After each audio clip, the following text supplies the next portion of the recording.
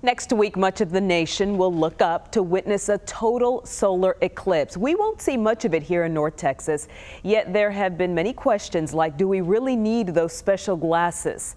Bradley Blackburn found out.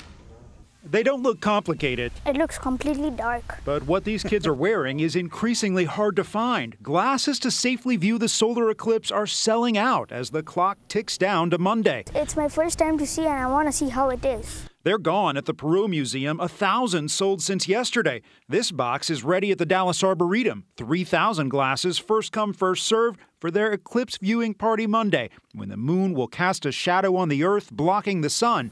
But you still can't look up with the naked eye. No, you can't.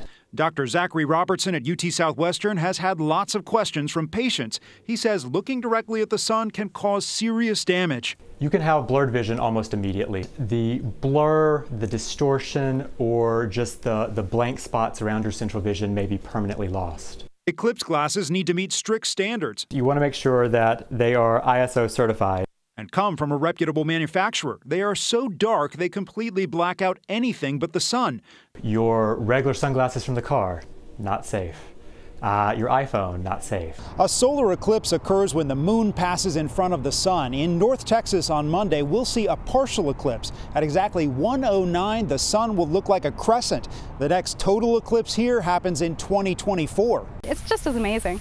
Mom Lisa Parker wants her family to see the eclipse, but she isn't taking any chances. Uh, my eye doctor is having a party, so I figure if there's a safe place to go, it would be his. Ready to watch history in the sky safely.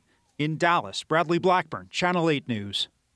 If you can't get your hands on a pair of those glasses, you can actually view it through a do-it-yourself eclipse box. We've posted directions for you on the front page of WFAA.com.